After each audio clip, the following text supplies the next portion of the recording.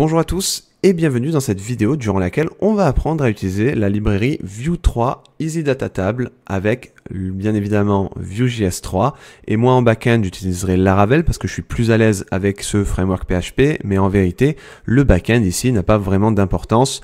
En revanche ce que je vais faire c'est bah, euh, vous montrer juste la création des modèles des factories et générer un petit peu euh, ces données là en amont.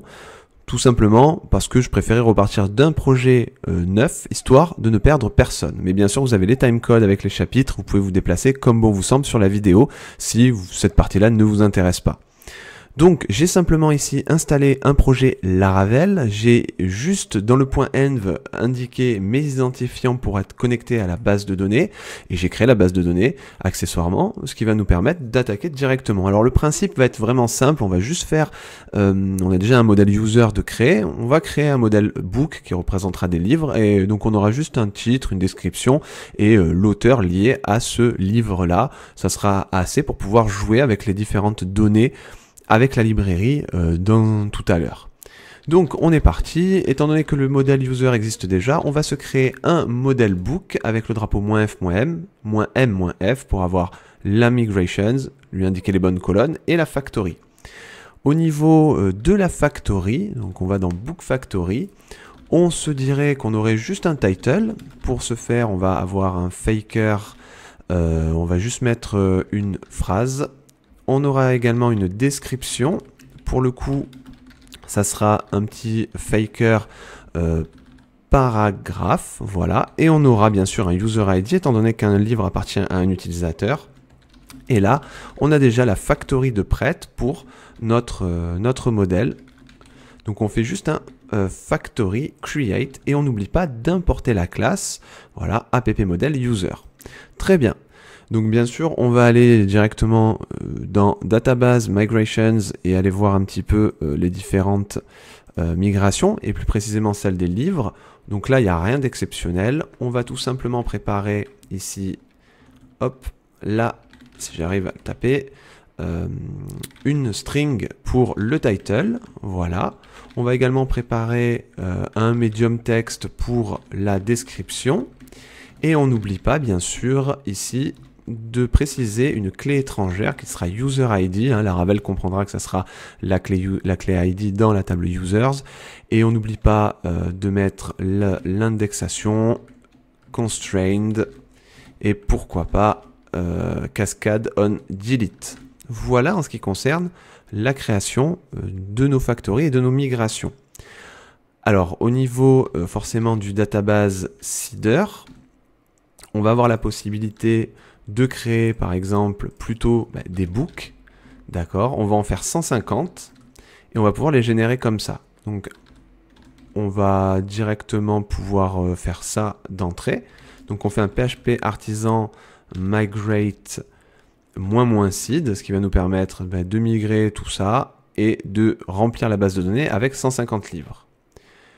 J'ai une petite erreur. Euh, ok, donc là, je pense que c'est juste euh, un souci au niveau de la factory parce que pour paragraphe, il a envie que ce paramètre, enfin, ce serait mieux que ce paramètre ce soit du, une chaîne de caractères. Donc on met un as text true. Donc on va juste faire ici un PHP artisan migrate refresh moins moins seed pour qu'il rollback tout ça et qu'il renvoie la même, euh, la même commande. Impeccable. Donc maintenant que les données sont créées, ça c'est très bien. On n'oublie pas d'aller dans les modèles pour s'occuper des différentes euh, relations. C'est assez simple. Euh, on va aller ici déjà dans User. On sait ici que le user, il a plusieurs euh, livres, donc plusieurs books. Donc ici on peut même préciser le type. This as many book 2 points, 2 points, 2 points class. Ok. Et concernant le book, bah, vous l'aurez compris, on va avoir ici un euh, user belongs to et ça sera bien sûr user class. Voilà. Et bien sûr, ça sera du belongs to parce qu'un livre appartient à un utilisateur. Globalement, on est bon à ce niveau-là. Donc ce qu'on va faire maintenant, c'est directement euh, installer les, tous, tous les assets front. Donc on va faire un petit coup de npm install. Et ensuite, on va aller directement euh, installer Vue. Donc npm install Vue at next. Donc ça, c'est la première chose à faire. Et pour que ça fonctionne, pour le brancher avec vite, on va avoir besoin de faire un npm install. Et là, ça sera un... Pour le coup, je me souviens plus bien du, de la librairie. C'était vite plugin view quelque chose. Donc c'est vite.js plugin view. Donc c'est celui-là. Euh, à ce niveau-là, parfait. Donc euh, à mon avis, on devrait avoir, voilà, vite.js. Donc on va tout simplement copier-coller ça, hop, et on l'installe. Donc on va euh, ben, s'occuper maintenant de paramétrer le tout. Alors on va se rendre directement dans vite.config.js et amener ici, hop, dans les plugins View. Donc ça, il ne le connaît pas, donc on va faire un import de View from, et là, on a notre vite.js slash plugin View. Parfait. Au-delà de tout ça, on va avoir besoin bien sûr de créer nos composants, etc. Donc ce que je vais faire, c'est déjà aller dans le dossier resources.js, créer un dossier components, et à l'intérieur, on va se créer euh, pour tester, dans un premier temps, on va l'appeler data table, mais si vous avez bien sûr plusieurs data tables, c'est mieux de organiser ça dans des sous-dossiers et de leur donner des noms plus éloquents. Donc datatable.view, ça, ça suffira. On n'aura pas de nom, d'ailleurs on n'aura pas besoin d'export parce que moi je vais utiliser ici ce syntaxe d'API composition en faisant un, ici un setup, pas le scope parce que ça fait bugger le style, je vous montrerai. Euh, et ici on va juste mettre un hello world. Ok, donc l'objectif ici c'est de afficher ça dans notre vue welcome. Donc ce qu'on va faire c'est tout prendre, on va tout remplacer, on va déjà dire qu'on s'occupe ici euh, bon, on n'a pas de CSS en soi, mais tant qu'à faire, je vais, euh, je vais le faire. Donc ici, ça va être resource slash css slash app.css. Et avant que la balise body soit fermée, on fait un vite resource js. Bon, vous avez compris, app.js. Ensuite, on va se créer une petite euh, balise main, d'accord Et on va y greffer l'id euh, app de façon à pouvoir bah, euh, greffer à, son tour l'instance de Vue.js dans cette, dans cette balise-là main. Parfait. Et on aura envie à l'intérieur, puisqu'on aura accès à nos composants, ici, ben, d'appeler notre composant data table de cette façon. Voilà. Donc, Là, on est bon. Maintenant, il ne reste plus qu'à s'occuper de euh, l'initialisation de notre Vue.js euh, dans notre projet. Donc, dans le app.js, on va avoir besoin ici de faire une const app où on va faire un new create app déjà à ce niveau-là. Comme je ne vais pas utiliser ici de composant route, il va plutôt falloir euh, que j'utilise Vue. Je pense que c'était dans dist et c'était view.esm euh, browser.js, il me semble. Alors c'est le bundler, c'est celui-là. Voilà. Ce qui va me permettre ici de ne pas passer euh, de composants euh, de composants route et directement de lui préciser qu'il a des composants qui seront par exemple data table et qui se nommera data table. Alors d'ailleurs on va juste faire un petit import avant. On va dire qu'on récupère datatable.view depuis components datatable de cette façon. On va préciser .view d'ailleurs, comme ça on est bon et le nom c'est bien sûr datatable. D'ailleurs je pense que ça va plutôt être euh, ici de cette façon et ici ça sera datatable. Voilà. Enfin on va pouvoir ici euh, greffer enfin monter notre instance de view dans euh, le, le, pas le composant mais dans la balise main. Et là on fait donc un mount. On avait dit que c'était un ID qui s'appelait app voilà. Donc là il est pas il pas content. C'est peut-être c'est juste create app. C'est pas new hein, bien sûr. C'est pas une nouvelle instance. De cette façon. Alors normalement on devrait pas avoir de soucis et si je reviens alors il demande ici de faire, euh, il râle parce qu'il n'a pas le manifest.json, mais ça, pour le faire, on n'a pas le choix, on est obligé de faire un premier npm run build, de façon à ce qu'il puisse le, euh, bah, le charger.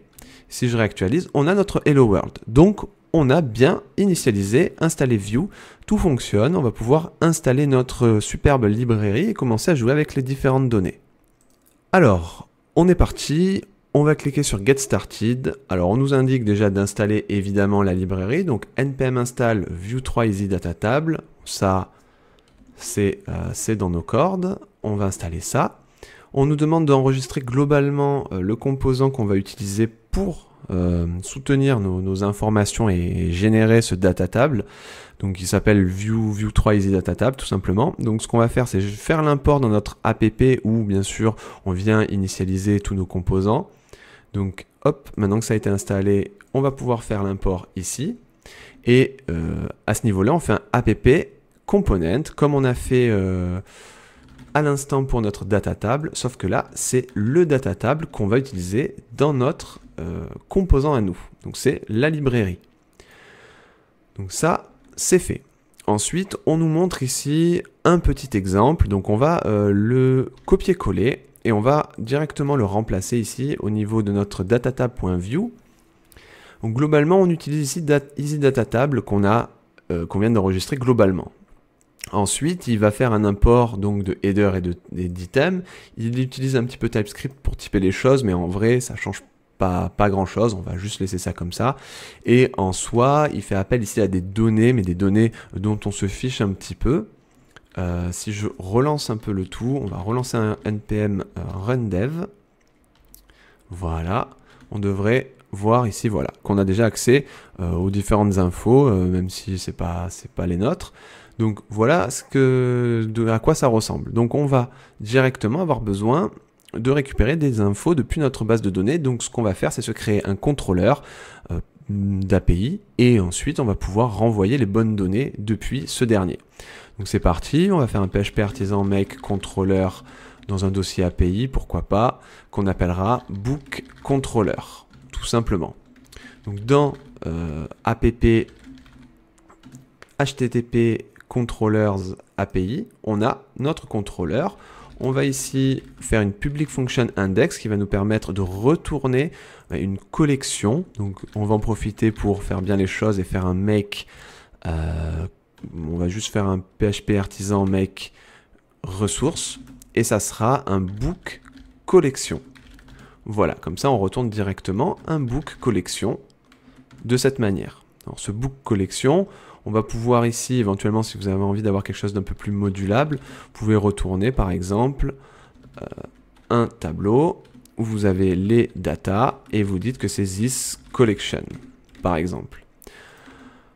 Nous, Côté contrôleur, on n'a plus qu'à faire un return new book collection et lui passer les infos dont on a besoin. Donc pour l'instant, ce qu'on va faire, c'est un book où on va eager loader forcément les auteurs, donc c'est avec la relation user, et on fait tout simplement un get. Voilà. On n'oublie pas d'importer euh, les modèles, les différentes choses dont on a besoin. Au niveau euh, de la route, bah, dans Routes API, qu'on n'est pas connecté, donc je ne vais pas le soumettre au middleware hotSangsum. On va directement faire un petit get. Alors on n'oublie pas que ça sera préfixé d'API. Donc quand on fait l'appel Axios tout à l'heure dans notre vue, on n'oublie pas de préfixer avec API. Nous pour l'instant ce sera books tout simplement. Et on va appeler book controller. Voilà, et ça sera la méthode index. Je je lui donne pas de nom parce qu'on va pas l'utiliser. Euh, à partir de là, on est OK. Au niveau de la data table, donc là on a des items, c'est bien beau, mais moi ce que j'aimerais déjà c'est tester en faisant un petit unmounted, voir de quoi il en retourne si je fais un appel Axios, on va juste faire comme ça, un appel Axios en get sur slash API slash books. Voilà, ça, ça va me donner forcément une réponse. Et euh, cette réponse, je vais la console loguer en faisant réponse data, euh, on va regarder un petit peu euh, de quoi il en retourne. Alors ici, on va pas oublier de passer notre méthode en asynchrone et on va faire un petit await sur l'Axios get et on voit qu'on a tous nos résultats. Donc en gros, ce qu'on a, c'est un arrêt avec les objets qui sont à l'intérieur. Si on regarde, il a un petit peu chunké les choses, mais pour le visuel, on voit qu'on a tous nos livres avec nos différents ID euh, d'utilisateurs. Donc normalement, si je regarde je regarde un, on a bien le user qui est girloadé, impeccable. Tout ce dont on a besoin de faire en fait, c'est euh, de le déstructurer. Donc si je mets trois petits points devant donc avec le spread opérateur, on a nos infos et on va les, euh, les recoller entre guillemets dans un tableau. Donc ce tableau-là, euh, on va d'abord le créer en amont. Donc ça va être hmm, books tout simplement. On va utiliser bien sûr ref.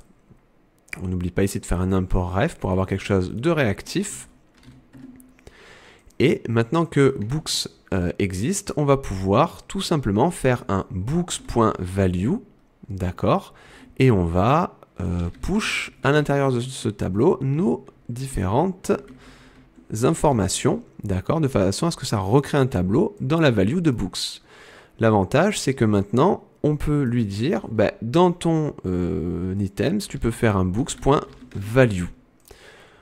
Ok, donc juste ça, euh, on va s'occuper du header. Donc ça, c'est la, constante headers sur laquelle ben, on va pouvoir modifier le visuel. Euh, donc par exemple le titre du livre, d'accord? Donc là, ça sera title. Là, il faut que ce soit une référence propre, bien sûr, aux différents items qu'on a récupérés. Donc là, c'est title. Pour la description du livre, ça sera forcément description, description. Pour euh, l'auteur, ça sera user.name parce que c'est comme ça qu'on l'avait euh, au niveau de notre, de notre livre. On avait un user.name, donc vous appelez simplement euh, l'information comme elle vous vient depuis le contrôleur et l'email de l'auteur. Je sais que c'est pas bien de montrer les informations sans l'autorisation, mais là c'est des données factices, donc c'est pas grave et on montre l'email de l'auteur de cette façon.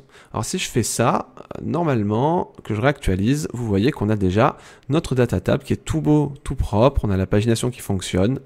Alors je fais juste une petite euh, un petit, une petite interlude pour vous dire que là, on récupère d'un coup toutes les infos et bien sûr, euh, on les a toutes d'un coup et paginées d'un coup. Si vous avez envie de les paginer côté serveur, il va falloir utiliser ce qu'on appelle le server-side paginate and sort. Là, c'est le nom de ce chapitre où vous allez tout simplement faire le même appel Axios, mais vous allez paginer du côté du contrôleur et lui passer ici les serveurs options. Voilà. Et après, vous watchez vos serveurs options et vous appelez votre euh, votre méthode qui sert à loader les, infos. Donc globalement c'est la même chose sauf que vous avez besoin de lui passer server option en plus et ensuite vous n'aurez pas accès à, au tri bien sûr et aux différentes fonctionnalités de recherche que nous on va voir et auxquelles on a accès puisqu'on restera côté front euh, puisqu'il va falloir retravailler les choses. Typiquement pour la recherche, il faudra vous créer votre propre appel Axios, envoyer les bonnes, euh, les bonnes informations avec les bons paramètres et vous retraitez ça. Donc là, ça demande un peu plus de travail, mais globalement, la logique euh, d'échange entre le front et le back est la même. On va, euh, voilà, c'était la petite interlude, on va directement attaquer quelques, quelques différentes features très intéressantes de cette librairie. Donc vous avez des choses vraiment très très basiques comme par exemple alternating que vous pouvez positionner dans votre Easy Data Table ici et vous voyez que vous avez, alors ça se voit pas très bien mais 1 sur 2 est gris, une row sur 2 est grise, bon voilà. À partir de là, vous avez des choses beaucoup plus intéressantes, comme par exemple le class name customization. Alors l'exemple est un petit peu, un petit peu rugueuse comme ça, L'exemple est un petit peu rugueux, mais en vérité, si vous récupérez par exemple euh, le body row class name, hop, on va retirer alternating, et que vous avez envie euh, de customiser une row en particulier pour lui affecter une classe suivant une logique ou suivant un, bah, une, donnée, une longueur de donnée ou un count par exemple, et eh ben vous pouvez le faire ici. Donc dans l'idée, vous allez euh, faire votre euh, body row class name. Vous rajoutez également le, le no over, vous voulez faire ça parce que ça va pas être très joli dès qu'on va afficher, euh, on va rajouter du style, parce que sinon il va, il va faire un over qui va écraser le style qu'on essaye de mettre justement. Vous allez pouvoir faire un, import du coup du... moi je me concentre sur le body row class name function parce que bah, je veux juste faire quelque chose sur les rows. Donc vous allez pouvoir ici, hop, faire un import de euh, ce dernier. Euh, plus besoin du type, je pense. Et ensuite, on va directement récupérer ça. De cette manière. ce que vous voulez faire, c'est que sur l'item en gros que vous récupérez, bah, si vous voulez euh, mettre, on va dire, un style suivant la longueur du titre par exemple. Donc on va faire un item title. Voilà. Si la longueur de ce dernier est supérieure à 150, vous voyez que, par exemple, hop, on va faire un console log euh, de l'item.title en particulier. Donc vous voyez ici, hop, si je réactualise, là on voit pas grand chose, peut-être que c'est un peu trop, on va plutôt mettre 50, voilà, on met 50, vous voyez que vous avez récupéré les items en question. Donc ce que vous pouvez faire, c'est lui indiquer un style en particulier en returnant la classe. Donc nous, ce qu'on va faire, c'est récupérer la classe euh, passRow, voilà, parce qu'elle est verte, mais bien sûr, vous pouvez mettre le style que vous voulez. De cette façon, en mettant, alors ça sera pas scope, ça sera style, à éviter le scope parce que du coup, ça fait un peu bugger. Vous allez tout simplement return, et on avait dit que c'était passRow, donc passRow, et votre row va avoir automatiquement cette, euh, ce style-là, vous voyez, sur les différents livres maintenant qui ont euh, une longueur supérieure à 50. Vous voyez, donc c'est déjà quelque chose de vraiment sympa. Alors après, là, c'est avec une classe que vous avez euh, typiquement codée, entre guillemets, en dur dans votre style. Comment faire si vous avez envie de pousser un peu la customisation de plus d'en faire une plus conséquente, c'est-à-dire vraiment de retravailler par exemple la row en entière et de mettre votre style à vous avec votre sémantique à vous et vos classes à vous si par exemple vous avez un framework CSS comme Tailwind CSS. Alors là, c'est vraiment très simple parce qu'il utilise un système de slot que vous pouvez utiliser pour euh, le loading, le header, les en-têtes ou alors l'item. Nous on va se concentrer sur l'item parce que c'est le plus intéressant. Vous avez besoin ici de rajouter un template voilà, le système de slot classique dans votre component easy data table. Donc vous voyez que ça doit correspondre ici le nom, donc hashtag item dash indicator.weight égale item. Donc on n'oublie pas de le faire correspondre à, ce dernier. Donc c'est ce qu'on va faire. Donc directement, on va hop, retirer ici le, la balise, ou plutôt le, trailing slash de la balise, pour pouvoir indiquer ici un nouveau template. Et le nom du slot, ben, vous l'avez compris, on va essayer de redynamiser, de recustomiser, euh, par exemple, notre user.email. Voilà. là, par exemple, si je fais ça, vous allez voir que notre email a disparu parce que ben, il est prêt à attendre un nouveau style. Donc là, si vous avez par exemple une span et que vous avez installé Tailwind CSS et que vous voulez mettre du pink euh, ou du texte pink 500. Bon là je ne l'ai pas parce que je ne l'ai pas installé, mais on peut très bien le, simuler ici en faisant un texte pink 500 et on va se dire que ça fait un color euh, deep pink. Voilà, c'est vraiment pas beau c'est pas l'important. Euh, et ici, ben, vous pouvez directement faire item user. Donc vous avez accès à l'item hein, de la row en question, item.user.email. Et là, vous voyez que vous avez votre email et vous lui avez assigné la bonne sémantique. si je jette un petit coup d'œil ici, vous voyez qu'il m'a mis ma span avec mon, style à moi et la donnée. Donc là, c'est vraiment très intéressant. Bien sûr, vous pouvez le faire pour autant d'items, autant de colonnes que vous voulez customiser. Ensuite, quelque chose d'assez intéressant, c'est évidemment la possibilité de faire un système de recherche. Euh, donc, par exemple, on va aller euh, chercher ici dans euh, hors du template Easy Data Table, mais dans notre template général, bien sûr, on peut vraiment le customiser comme on veut. Donc, c'est-à-dire, on va aller récupérer ici notre span et on va la mettre en dehors de notre Easy Data Table. Alors là, on va faire un search field. Alors, vous faites un vmodel dessus, donc vous avez besoin, bien sûr, de le lier à une constante search field et une constante search value. Vous n'êtes pas obligé de le lier nécessairement à un field pour rechercher. Mais là, je vous montre le tout comme ça, vous savez faire le moins. Par exemple, nous, on va vouloir trier par euh, titre, titre du livre, d'accord? Donc le mieux, c'est titre du livre. Et là, on va juste marquer euh, rechercher par, voilà. Ici, on va lui passer la value, donc tout simplement en faisant un title, voilà. Et ensuite là, ça va être plutôt euh, par l'email, l'email du euh, l'email de l'auteur. Et là, techniquement, ça devrait être euh, user.email. Ok. Donc en gros, c'est tout simplement recherche, valeur, enfin vous mettez ce que vous voulez.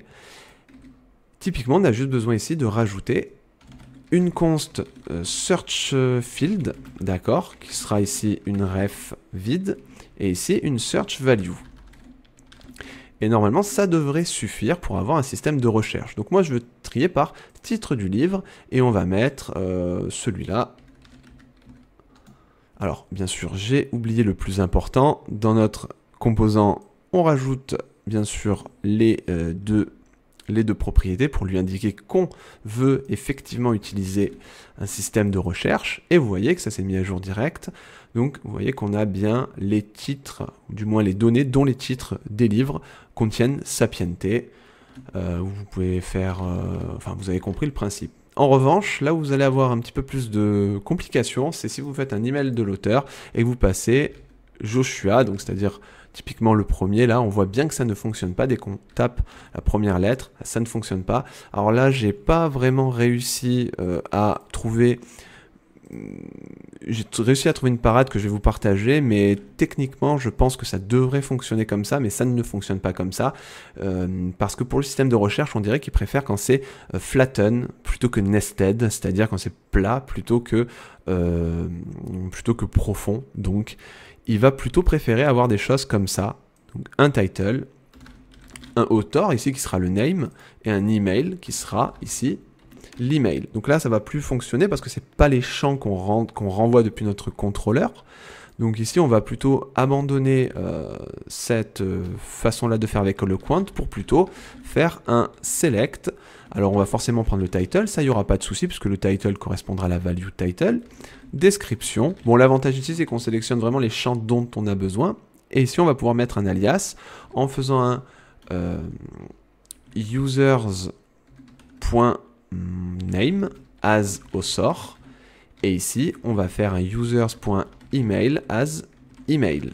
Alors bien sûr, là, ça ne suffit pas. Il va falloir faire une petite jointure en disant qu'on va joindre la table users, d'accord, ou books .userID est égal, alors le égal il est compris, hein, si c'est, on peut rentrer directement la valeur, euh, la colonne en question, est égal au user'id de cette façon. Et bien sûr, on n'oublie pas le get. Voilà, je l'ai décommenté. Normalement, ça devrait être bon. Donc on réactualise, on voit que c'est euh, fonctionnel. Et là, cette fois-ci, maintenant que tout a été flattened, l'email de l'auteur, et que j'essaye de taper Kali, alors là, on a un petit... Euh, donc c'est bien email author. Au niveau de la data table, c'est bien email. OK. Et ici, forcément, la valeur maintenant, ce qu'il n'aimait pas, c'était que ce soit avec, un, avec une relation, mais si je tape directement email et que je recherche par email de l'auteur et que je tape Kali, vous voyez que il a bien récupéré celui qui a euh, l'email Calivon. Effectivement.